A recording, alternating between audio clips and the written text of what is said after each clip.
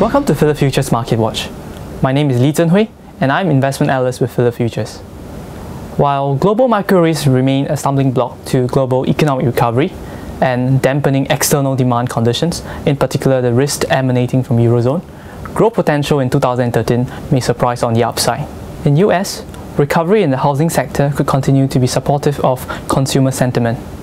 New home sales and existing home sales have been trending upwards and are likely to continue its current momentum.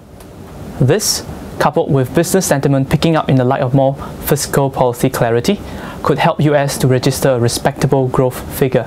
With the smooth leadership transition in China, more supportive monetary and fiscal policy measures could be rolled out in 2013 to ensure the continued stability in growth as Chinese economic data appeared to have bottomed out in the second half of 2012. Hence, we are optimistic of the economic performance of Indonesia in 2013 even if we were to discount the potential upside surprise in global growth, Indonesia could still maintain its robust growth trajectory driven by two pillars of growth, namely investment and private consumption.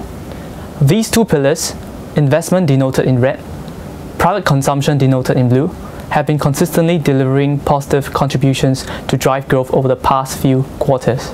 There are three things to look out for in 2013. Firstly, current account deficit may pose a risk to the macro stability of Indonesia.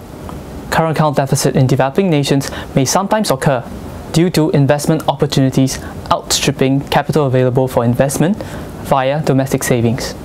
As long as foreign investors remain confident that the current account deficit in Indonesia is caused by investment-led growth, which would in turn increase the long-term growth potential, we do not foresee a massive portfolio outflow or a significant reduction in FDI.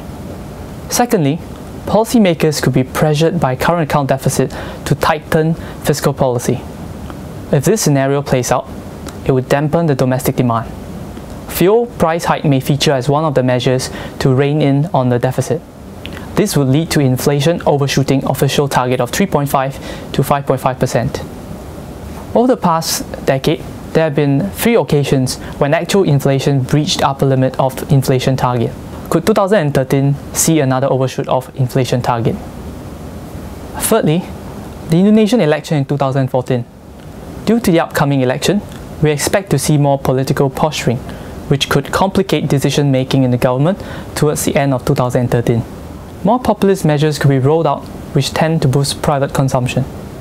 Due to Indonesia's growth potential in 2013, investors could consider keeping MSCI Indonesia Index futures in the radar while constructing investment portfolio.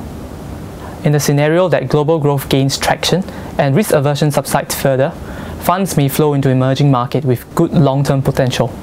And this is beneficial to equity performance in Indonesia. For more information on the risks and returns of investing in stock index futures, please approach any representative from Phillip Futures for a further discussion. Thank you and stay tuned for more Market Watch videos.